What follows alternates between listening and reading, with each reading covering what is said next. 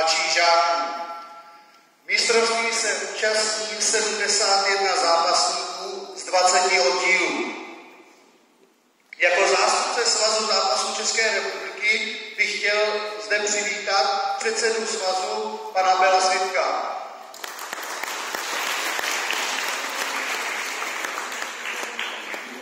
Dále bych chtěl přivítat hlavního rozhodčího pana Milana Slončíka,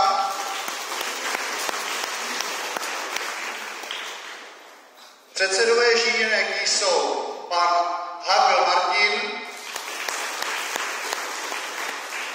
pan Komorný Ladislav.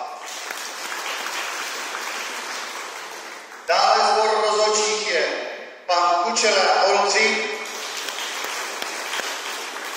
pan Zachariáš Jiří,